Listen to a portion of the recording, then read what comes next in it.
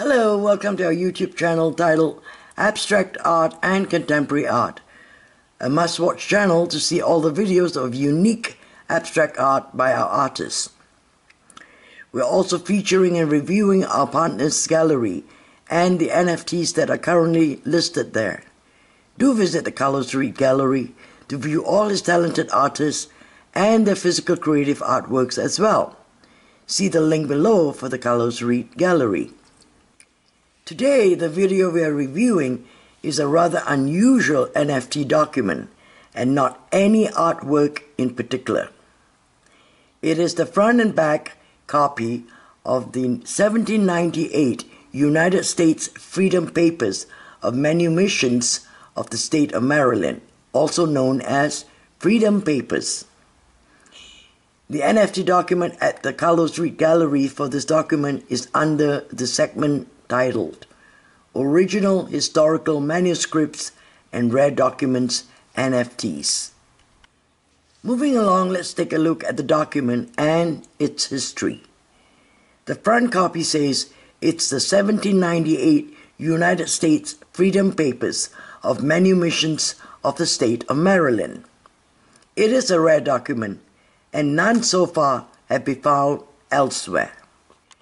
Freedom Papers and Certificates of Freedom were documents declaring the free status of blacks. These papers were important because free people of color lived with constant fear of being kidnapped and sold into slavery. Freedom Papers proved the free status of a person and served as a legal affidavit.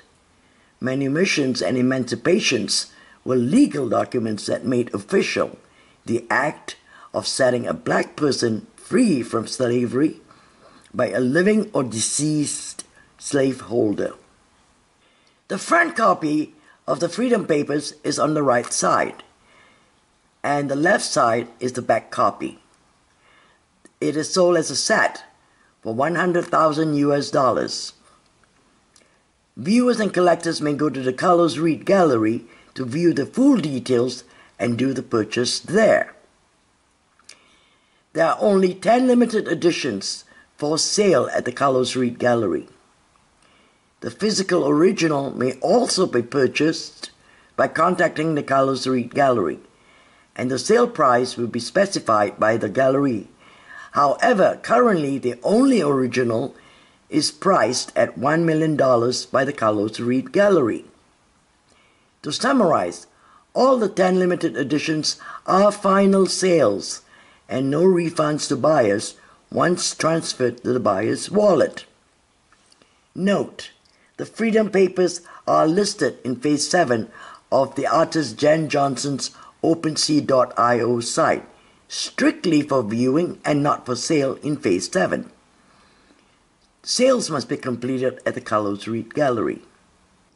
See the link below to view the Freedom Papers and do your purchase. Thank you for watching.